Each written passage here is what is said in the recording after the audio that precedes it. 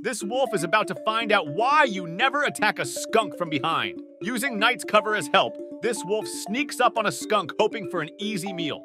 But just as he moves in to seal the deal, he learns skunks can do more than just smell bad. Skunks are notorious for their horrible spray. Not only does this fluid smell extremely bad, but it can also cause serious irritation when sprayed on the eyes.